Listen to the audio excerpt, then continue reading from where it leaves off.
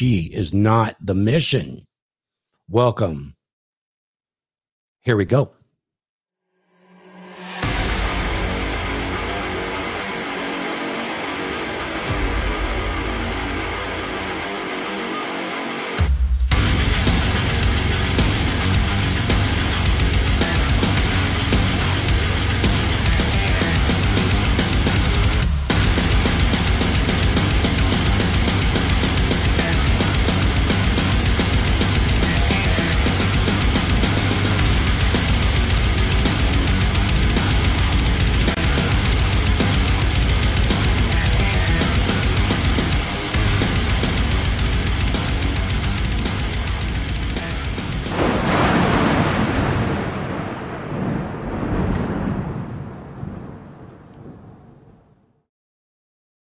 You are the mission, not her. Your woman is not your mission. We're getting back to basics, gentlemen. That's right. Getting right back to it. We're going to chop it up today on 101. You are the mission. As responsible men that care deeply for all women, me included, you get concerned about, you know, wanting to help the women, the men, make them all happy, right? All happy. It's impossible because she is not the mission. You are the mission. She will only come along if the ride is adventuresome, it's exciting, scary, yet secure all at once. How can a man do all of this for you? Listen carefully, and you will never get Poon-matized. Listen to RP Thor, avoid Poon-matization. There are sacred commandments of Poon that will allow you to never become Poon-matized. These are sacred commandments and they will serve you well as a man in your relationship. So the rules of commandment was always um, never say I love you first if you're the man. Does do you understand why that is so critical when you're forming a relationship?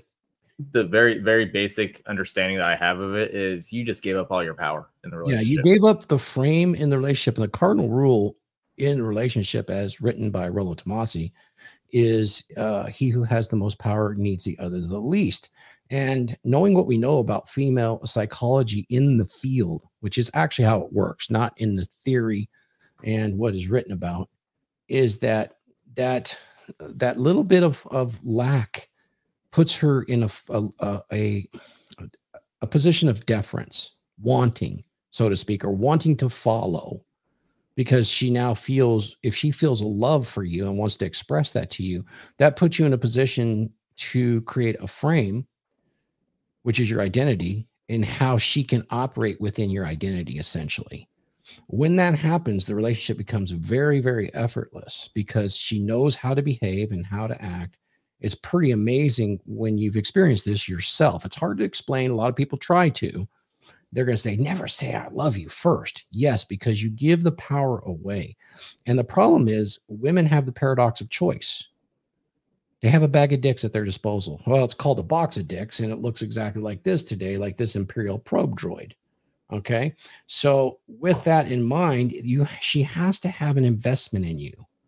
And therefore, the investment has to come from her. She's not the only one. Once you realize she's not the only one, and she none of them ever can be. It's really, really interesting because when they invest by saying that they love you, remember, women love opportunistically. She's telling you that she has this opportunity that she wants to capitalize on. This gives you all the framework to create exactly what you want in the relationship. That's why that is the first rule. And it's uh, been great, very well written. You know what? Thank you, man. Uh, honestly, I'm not a writer.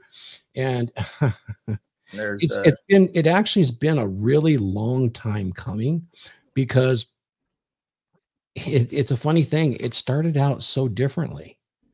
It started out with really my story on what happened to me uh, when when I was 28 years old and I got hung up in 12,000 volts and nearly killed myself yeah. and blew my hands uh, and face off practically. Um, and how I recovered from it. It started that way. And because of my involvement with the apprentices, I started counseling or coaching young men on basic life issues. And with a really couple really good relationships that I had with women, people wanted to know how did we do it? And it kind of evolved from there. Number two, number two was make her jealous. right? That was the second commandment of Poon. Dread game. Yes. Now, I will tell you this jealousy is a funny emotion.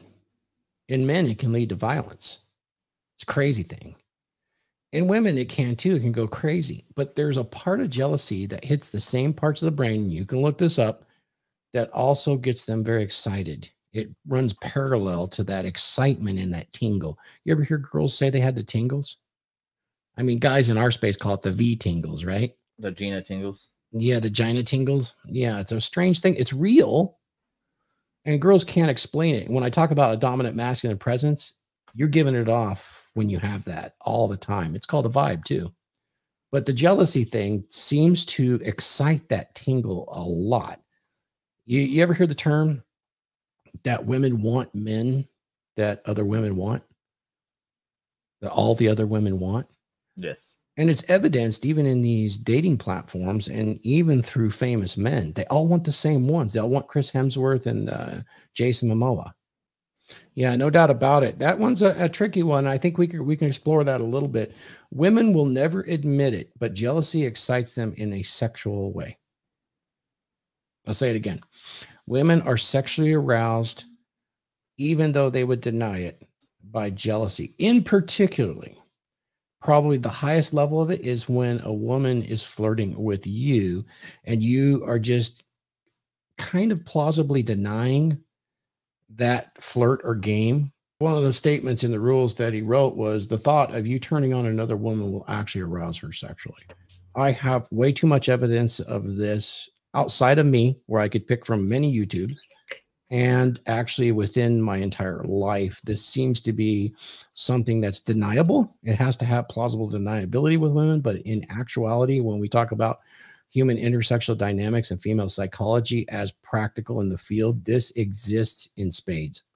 Uh, no girl wants a man that no other woman wants. So this is a huge component of their ability to screen for mates, whether short term or long term. This is a big, big deal. This fits both into dualistic mating strategy and into mate switching strategy, which I am not convinced there is a mate switching strategy. I think it's a variant on the dual mating strategy, particularly as women age. There's something we might be missing, but it's more additive than a separate and complete theory. I'm just, I don't see it. You know, one study opposed to 50 doesn't upset the 50 studies. You know, there's now we get to the third one. This is the one I wanted to talk about the most today. And this is the title You shall make, you shall make your mission yours, not your woman, your priority. So, this is the quote from the third commandment of Apun. Forget all those romantic cliches of leading man proclaiming his undying love for the woman who completes him, much like Steve Harvey's soulmate. Look where he's at. Back to the commandment. Despite whatever protestations to the contrary, women do not want to be the one or the center of a man's existence that is one of the scariest places to ever be if you're the sole reason for his existence, which many men go down that road thinking they're honoring that woman, are actually absolutely disrespecting and destroying her ability to have a good relationship. I, um, I appreciate you all coming to the dragon ship. Thank you, AJ. I look forward to chatting with you after for a few minutes, but we'll go yeah. ahead and close it out today. Thank you, sir. Let's do it. And let's do it. And guys, go get the book, man. Go to my website at Become Durable. Give me your email. Go get the free book. There's a code. There's a code in the description. Okay. A free a free DMP or Rule Zero fan. And you get a free chapter. And it's a good chapter. Skull. Masculinity is in crisis. What are we to do? We need to acquire a dominant masculine presence. Now available on Amazon masculinity is in crisis. Men's masculine behaviors and traits have been suppressed by popular culture. Why has it become so popular to shame, guilt, insult, masculinity, and masculine behaviors? After 50 to 70 years of this has resulted in a very large subset of men who have become weak, useless, and crisis. Pathetic state for boys and men that leads to depression and violent despair. A dominant masculine presence addresses this very dilemma for the individual man and it firmly establishes why this is what is desperately needed by the individual man today. In this book, clearly defined masculine traits and behaviors and the emotional durability provided by traditional masculinity are presented as a guide to what every man should embed into his identity. Putting these principles and behaviors into practice will motivate and direct your path step to step to create for yourself an authentic, dominant masculine presence.